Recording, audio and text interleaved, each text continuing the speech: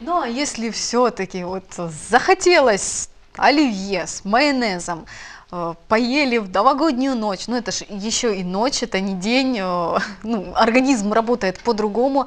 Вот как привести свою фигуру в порядок там уже после Нового года? Есть какие-то способы, методы? Да, есть несколько правил, они довольно простые. Ну, первый совет, который хотелось бы дать телезрителям, это э, не впадать в крайности. То есть мы обычно объедаемся на празднике, после этого начинаем голодать.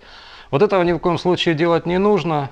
Э, кушать нужно продолжать, потому что у нас организм на э, слишком сильное ограничение калорий реагирует совсем не так, как нам хотелось бы. То есть э, он не избавляется от жировых запасов, он всего-навсего старается ограничить нас в движении, то есть понижает скорость обмена веществ. Как следствие мы получаем хроническую усталость, сонливость, раздражительность.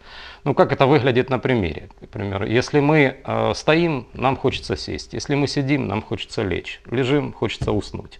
Вот это четкий показатель низкой скорости обмена веществ. Вот это результат э, голодовок. Э, после таких голодовок, э, каких-то длительных особенно, как правило, человек срывается и начинает есть еще больше чем ел до этого. Возвращает то, что у него было до этого, плюс набирает еще.